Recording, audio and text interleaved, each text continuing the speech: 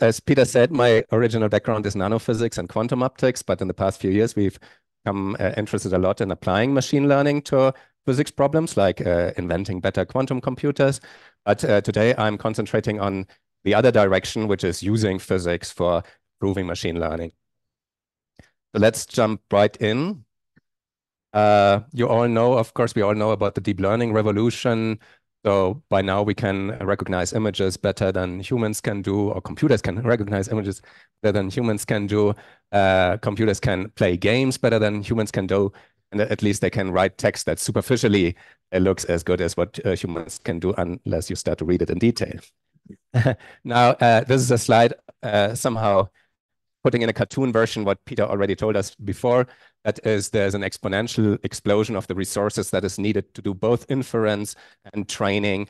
Now that we're going to these large language models and to the models that can produce pictures for us. So that uh, brings up a question. So uh, only big companies sometimes can do uh, the training that's needed here. So that's already bad for academic labs, but also overall, uh, this is uh, um, uh, this drives the question, can we build better hardware? Better hardware that is fast, that is highly parallel, that is energy efficient. So that brings up the whole field of neuromorphic computing. So that's, of course, a very, very wide field. And I'm only indicating a few of the aspects here. So in the upper line, you find uh, approaches coming from solid state physics, for example, based on memristors, based on spintronic oscillators, based on superconducting circuits where you might embed magnetic elements in order to also incorporate some uh, kind of memory. And then in the lower line, I collected a few examples of optical uh, approaches to build something akin to neural networks, for example, kind of free space propagation leading to these complex speckle patterns, which you can then use for purposes of machine learning, or you can build integrated photonic devices, simply also including some materials like phase change materials uh, that allow you to have some kind of memory and to have some kind of tunable parameters in these devices. So that's from solid state and from optics. Of course, as uh, just pointed out, also the soft matter community is looking into how can uh, can physical systems learn, for example, mechanical networks that can be trained to uh, execute a certain task if you uh, if you set them up in just the right way. So uh, that brings us to the uh, main question that I want to address in this talk, which is namely training. How can we do training based on physical dynamics? And so in this talk, I will be uh, giving you the outlines of two uh, recent works of ours. This is the first one where I want to spend a little bit more time. That is a new technique to learn uh, in a other wide uh, class of platforms, which we termed Hamiltonian echo backpropagation, reasons that hopefully will become clear as I go along to explain this new technique to you. Now, here's a cartoon of how I think of a physical learning machine.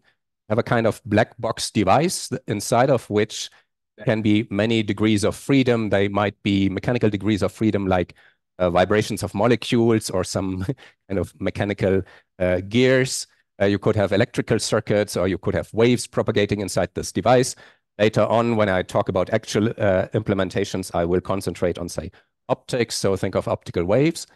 And uh, we want to imagine the situation where we have some input coming into this device. Again, imagine a wave packet being sent into the device, undergoing this uh, very complex nonlinear dynamics, and finally emerging at the other end. So the hope would be that this becomes an information processing device and that if you send in different inputs, will give rise to different outputs. And uh, in addition to that, you hope that there are tunable parameters inside the device so that you can teach it to do the kind of information processing that you really want to have. So on a more abstract level, we would say there are some degrees of freedom. I call them psi, think of a wave field if you like, uh, that represents the signal going from input to output and being distorted by this complex nonlinear dynamics. And then other degrees of freedom, here I call them theta in reference to what people in the machine learning field like to call them. These are trainable and they can influence the dynamics of the signal field so that you can uh, actually do some machine learning. So the question is how to learn, how to find the correct values of these trainable parameters in order to get what you want. Now, there is one technique that in principle always works, and this is simply to uh, send in input uh, for some given training samples, look at the output that results. Then if the output um, not quite what you wanted, just change the trainable parameters in a small way and see whether the output comes closer to what you really wanted to have. This will, will work always, but it has a big catch. If you have a million different trainable parameters, you need to run uh, the device a million times in order to get closer to what you want to have. And in order to appreciate this fact, let's uh, take a step back and let's have a look at how usual artificial neural networks are trained. So there's a usual artificial neural network with its neurons connected by weights that are the trainable parameters. And uh, what you could always do in principle is to change one of these weights and um, understand what uh, influence this change will have downstream uh, up to the output uh, of the neural network. Then if you like the change, you keep it. And if it went into the wrong direction, you change the parameters in the other direction. So this is the parameter shift method. But again, it scales extremely unfavorable, namely the number of parameters. What we really do in artificial neural networks is very different. We look at the output, which is a nonlinear function of the input uh, written in a recursive way. And then we can take gradients of the output with respect to these parameters in the network. And if you apply the simple chain rule of differentiation, you will quickly find that this amounts to going through the network in the backward direction, and that gives rise to the famous uh, rule of uh, backpropagation that underlies all of deep learning these days. So if we didn't have that, there would be no deep learning because it's so efficient that for the price of one forward propagation, also now uh, get uh, all the uh, gradients with respect to all the trainable parameters inside your artificial neural network. The catch with that is it's a mathematical algorithm which you can easily implement on the computer, but it's not immediately obvious to also implement it in a physical system. And to drive home the same point again, that uh, backpropagation and gradient-based approaches are a little bit alien to, say, more physics-based approaches. Here, I want to remind you what we are really trying to do is to minimize some kind of cost function that measures the deviation between the desired output and the actual output. And we do that by simple gradient descent, always sliding down uh, this uh, cost function landscape. If you compare this against what is happening in biological networks, that's very different. In a biological network, do not calculate some gradient of the output with respect to all the trainable parameters. Rather, what's happening as far as we can tell, and of course, people are still investigating, is that we always have local learning rules. So for example, uh, the Hebbian learning rule neurons that fire together, wire together. So if two uh, pulses arrive at the same time and trigger another output pulse, then these connections will be strengthened. That's obviously a local learning rule. That would be very nice to have also in a physical system because physical interactions are local. And that is uh, not at all obvious how this can be connected to the more global uh, gradient calculation that backpropagation uh, provides us. Okay, and so uh, as a kind of um, overview here, I collected together, say, maybe not all, but most of the training techniques known for training neuromorphic devices.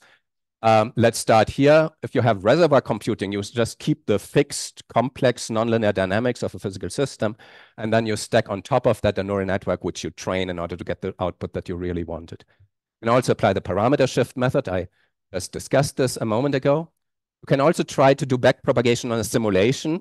This has its disadvantages uh, because maybe the simulation doesn't quite fit uh, the uh, real physical system. But uh, as Peter as, and his team introduced, you can do a hybrid approach where you have on the one side back propagation in a simulation and on the other side run a forward inside a real physical setup. Then that uh, still uh, brings up the question, can we do also physical ways of backpropagation? And uh, these ideas in one way or another have been around for quite some time, starting with the absolutely pioneering work by uh, Psaltis in the 80s. Uh, the idea was that at least for particular special physical systems, if you engineer them in the right way, you can have physical uh, ways of propagating uh, through the system and reading off the gradients that you need in order to update your parameters. For a much wider class of systems that was introduced recently by uh, and Bengio in 2017, the technique of equilibrium propagation. If you have systems that are thermalizing, this technique tells you in a physical way how to get all the gradients with respect to the parameters of these systems in order to update these parameters. And then that uh, brings us to the question I want to answer in the following, namely, can we have an equally general way of doing physical backpropagation and at the same time also produce physical updates of the trainable parameters in a purely physical way, so by the physical dynamics of the system. So that's uh, the question we set out to answer. We have our black box physical system, degrees of freedom that have their own dynamics, theta and psi, let's say two coupled wave fields. We want to have some approach, get both physical backpropagation with its efficiency and a physical learning update of the trainable degrees of freedom. The goal will be still this optimization of the cost function that measures uh, the distance between the output and the target. Uh, but the question is how to get these uh, gradients and how to apply them. And the uh, technique, the approach that we introduced, that we came up with, uh, relies on having quite an arbitrary Hamiltonian. The only uh, particular condition that we impose will be that the Hamiltonian has to be time reversal invariant. And that includes a very wide class of systems. Thus, we also need a kind of time reversal operation. That sounds a little bit like magic, but people in optics know how to do this. We can take a wave field psi and in a physical way turn it into psi star. So if the wave packet had been running to the right, it will be running to the left. Before I go a little bit into the mathematics of how this works, I want to illustrate it in a kind of cartoon version on a mechanical uh, toy model, which I call the self-learning pinball machine. And I hope that makes it pretty clear what we're about to do. Imagine you have a system with only two degrees of freedom, namely the positions of this purple ball and the red ball. Purple ball represents the kind of signal that I want to process, and the red ball represents kind of the trainable degree of freedom in the system. Now, uh, your input is encoded in the position of this purple ball, which will then be sent through the system. And because these balls can interact with each other, for example, both of them are charged, I will have some more or less complicated trajectory, and then my purple ball will end up at some location on the other end, which represents the output of this very simple pinball machine. Now, maybe I'm not happy with this kind of output because maybe I wanted this purple ball a little bit to the right. What I will do at this point in time is I apply a time reversal operation, which for a mechanical system simply means switching around the velocities. If that were all that I would do at this point in time, I would just have the movie running backwards, ideally.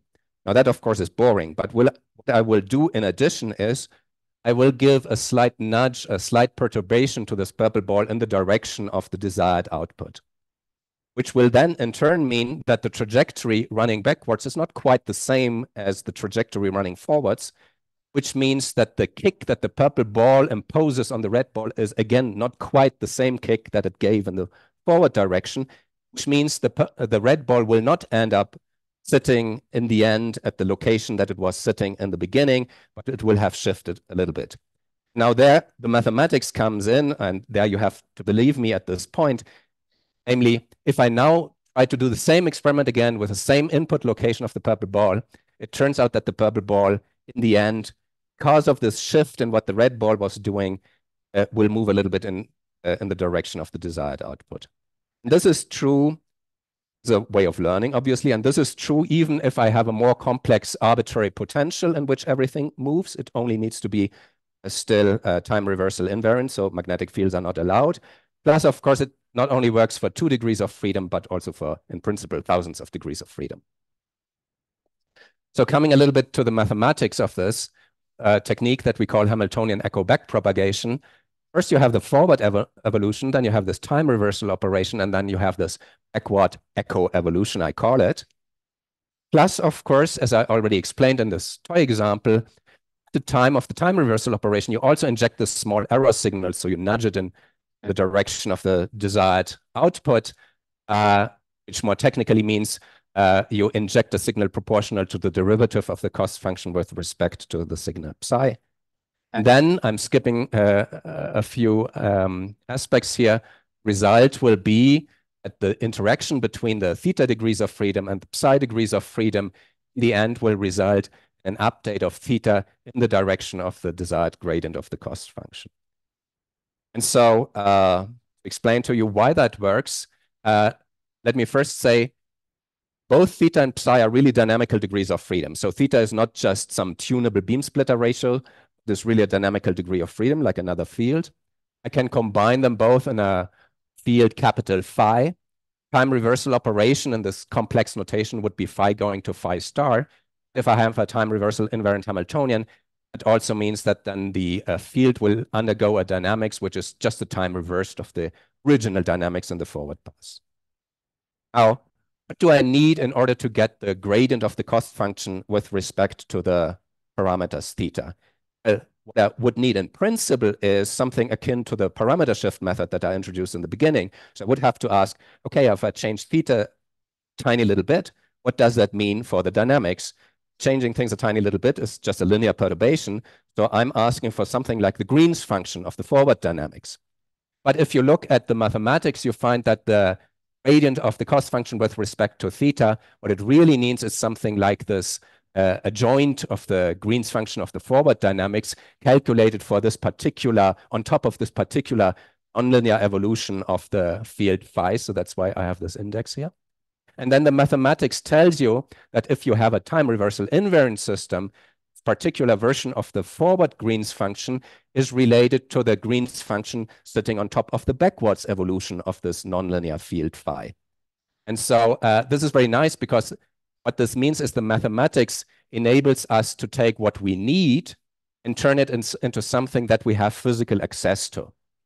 And so um, this only works because we have a time reversal invariant system. And if I skip a few other steps, it results in uh, what I promised you, namely that the resulting shift in the uh, theta degrees of freedom is exactly in the direction that I need. Okay. So um, what would that really look like for wave fields, which is the application we have in uh, mind?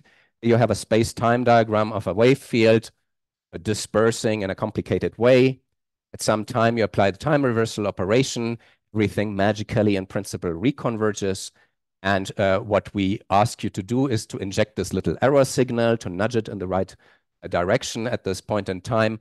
And the uh, claim is that then the resulting uh, joint evolution of psi and theta will result in the desired training update for theta.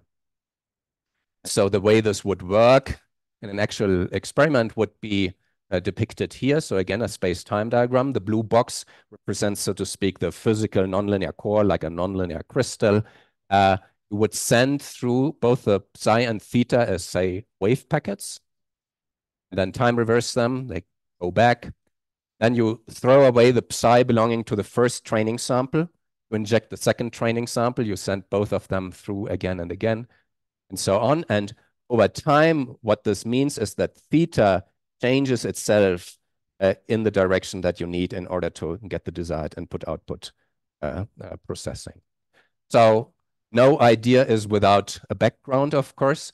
So we can compare to uh, precursor works. So one is the one that I already mentioned by Psaltis uh, in the 80s already, but they, it was quite similar. It involved some kind of time reversal operation, but it also differed in an important way, uh, which then meant they had to pay the price uh, that they had to engineer the nonlinear dynamics of their wave propagation in such a way that the backward propagation uh, would be related to the forward propagation in a very particular way. It's not uh, agnostic to the physics platform. It only works for a particular engineered platform. And then there was this recent work by Shanhui's group, which many of you also know, which introduced some more general physical backprop in a, a optics platform, but it did not include any way physically updating the parameters. Okay. So that's a brief summary. You're really sure I started late?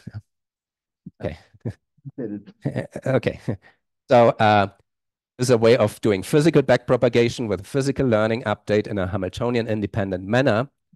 And we also ran a first numerical examples. For example, if I have two coupled wave fields, psi and theta, interacting with a nonlinearity, and I want to train this little system in order to do, for example, XOR, uh, then uh, here you, uh, you see what, what's happening. So I have, um, say, encoded the input in the location of wave packets in the psi field. As these wave packets are propagating, I introduce a certain um, dynamics of the theta field, which is here displayed in terms of a color scale.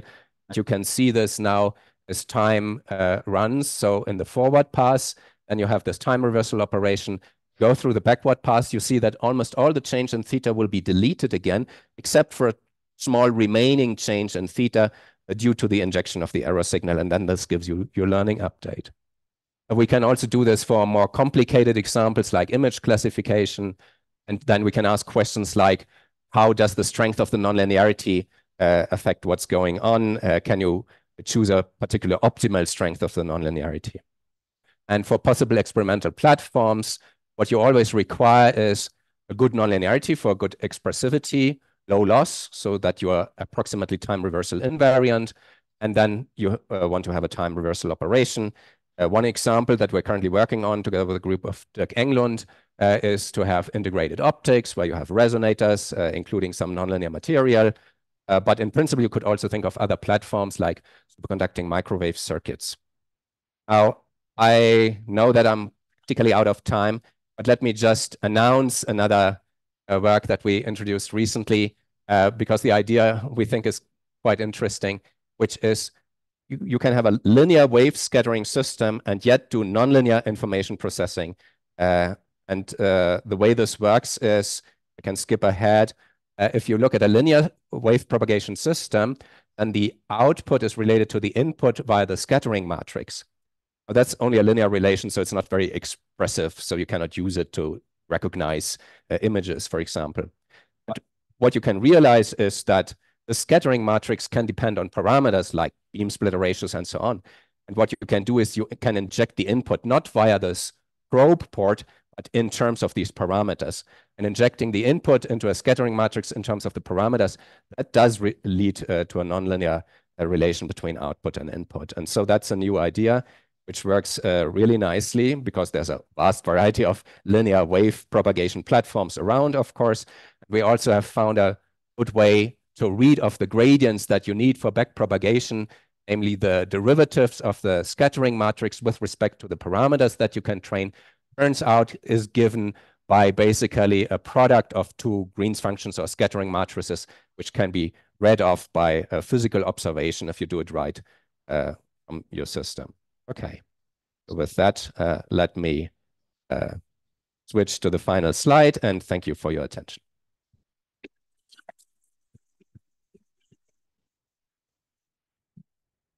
All right, thanks very much. So we've uh, we've the uh, solid five minutes for questions as as we're hoping to do the senior invited talks So 25 plus five. We're going to go a little bit into the break, but I think that's okay. So, right, who who has the first question?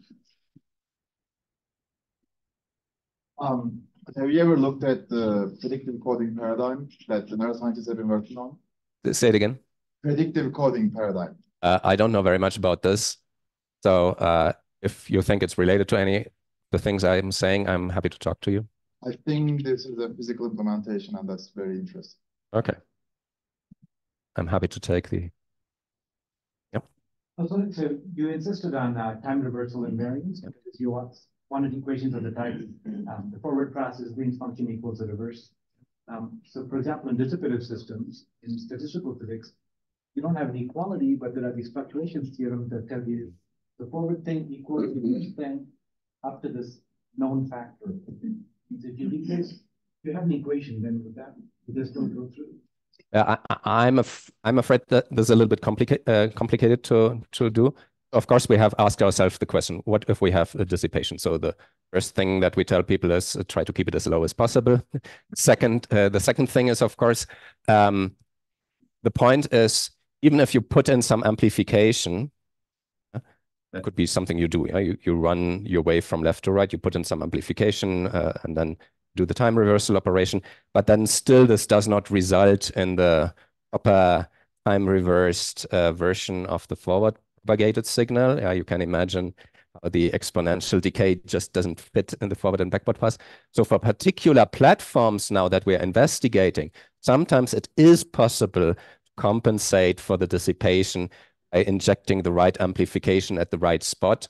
Uh, but these are particular cases. I think what you're referring to is still yet quite a different uh, direction. To talk about this, I think I got a question in this direction already at another conference. I still don't see the connection to these uh, fluctuation dissipation theorems.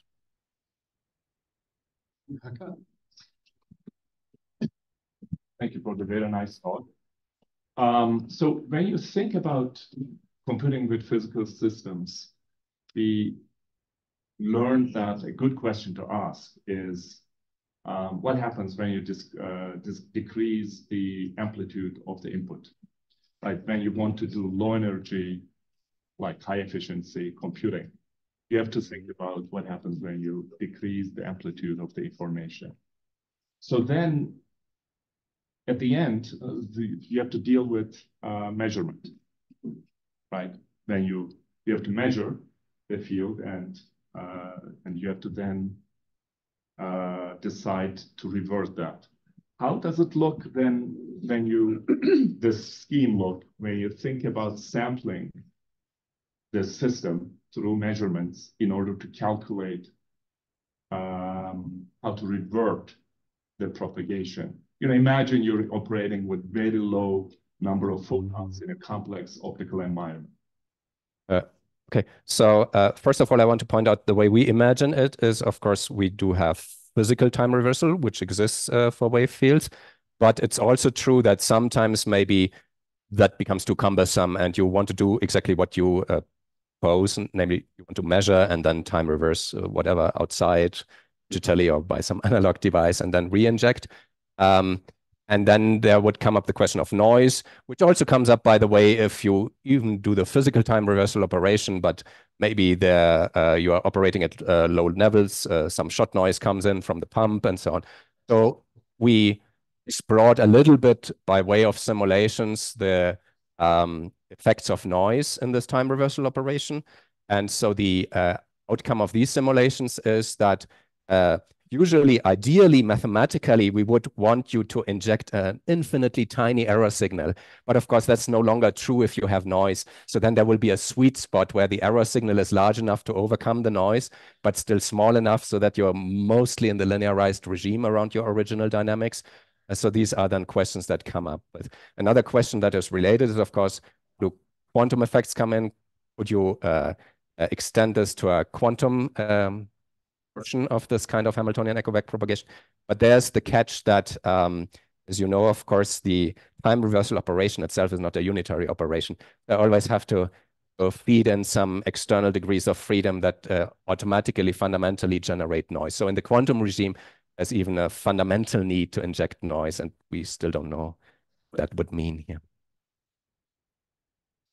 So uh, does this work for chaotic systems? Well, okay, very Good question. So what we want to have is a nonlinear system that is expressive enough, which means that in principle it is a chaotic system, but remember that the time of propagation through the device is of course finite. And so what we find empirically is you want the time of propagation to be something like maybe a few Lyapunov times. So you, you already see something of the complex dynamics, but not so long that every tiny uh, non-ideality gets completely blown up example that it's uh, bound on the system size. So to speak, yeah, in this toy model, yeah. We, we, of course, do the simulations more on the optics side, which is of interest to us. Thank you for the great talk. So when you think about a neural network crossbar array, like that you're comparing to, say with RAM, you can still think of that as a physical system, which is getting a physical weight update in its resistance. Mm -hmm. So can you more clearly explain the comparison to something like that, why, how that's different, even though it's still a physical update in some way? Um,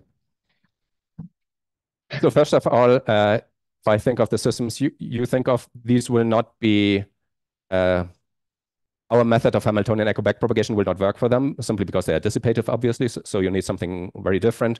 If you go to the extreme limit where they become thermalizing systems, you want to ask Benjamin about equilibrium propagation, of course. Uh, but I think what you meant is maybe that the the overall, say, digital information processing is, of course, still physical. Yeah. So I completely agree with this. Of course, everything that happens in this universe is physical. Uh, but I think for me, the difference is a little bit also like Arvind and Peter explained. Uh, do I come from what my physical systems can more naturally do without working too hard? Do you give me specifications and then I engineer? But I guess maybe there's a gradient between these limits. And I guess what you're saying is you still couldn't do this with an RM because the RM is too distant. Ah, yeah, so our particular technique wouldn't work uh, in, in that case. Yeah, that, that's another aspect. Room is slightly dark, I'm not sure if I'm missing hands, but I don't think so.